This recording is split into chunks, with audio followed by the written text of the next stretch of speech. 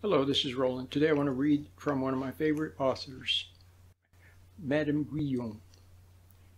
A French mystic, she lived around 1700. Her most famous book is um, A Short and Easy Method of Prayer. That's what it's called in French. She wrote, she did a lot of writing, very, very a true mystic, because she found the presence of God. And she seeks to help other people find his presence also and live in his light and in his love. And know that he's there and then take delight in all the things that you see the leaves, the butterflies, the rain, mathematics, science, people, everything, flowers, animals. It's magical. Stars, everything is magical that he does. But you have, you just have to see that.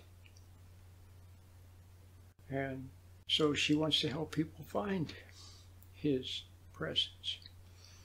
His presence is like a light that shines and it warms the soul. It's good for the soul, just as plants absorb light and warmth from the natural sun.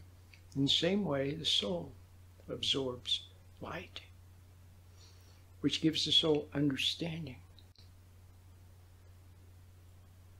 and wisdom and knowing what to do and warmth. In other words, love. His love.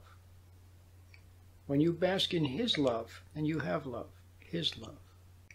And then, in His light and in His love, you see many good reasons for not resenting other people you see many good reasons for being patient. In fact, you start to become patient naturally. As the old self, the ambitious self, the deceitful self, the angry self, the lusting self, the greedy self, the voracious self, the intellectual self, as it begins to diminish, then the real you flowering as a child of God comes into the foreground and takes over. And then life is good. So I want to read something from Madame Guyon.